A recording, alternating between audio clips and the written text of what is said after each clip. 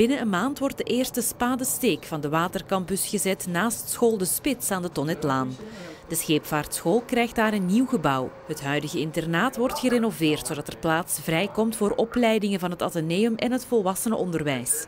Kinderen kunnen daar dus vanaf de basisschool levenslang blijven leren. Het voordeel is dat je natuurlijk een soort van expertisecentrum krijgt waarbij alle opleidingen uh, samengevoegd worden, waarbij er een uitwisseling kan zijn van kennis waarbij uw aanspreekbaarheid naar de havensector, uh, naar de, de sector in het algemeen, uh, veel groter wordt dat je vaartijden uh, tussen leerplichtonderwijs en het CVO uh, kunt samen organiseren, dat je dure infrastructuur gezamenlijk kunt gebruiken.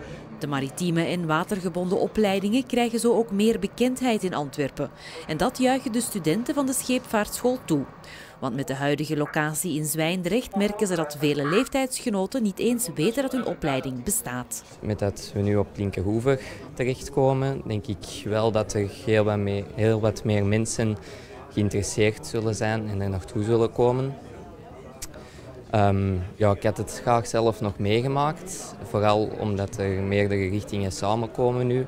En je er dan nog meer van kan leren, dat je de, de andere richtingen ook meer kan begrijpen.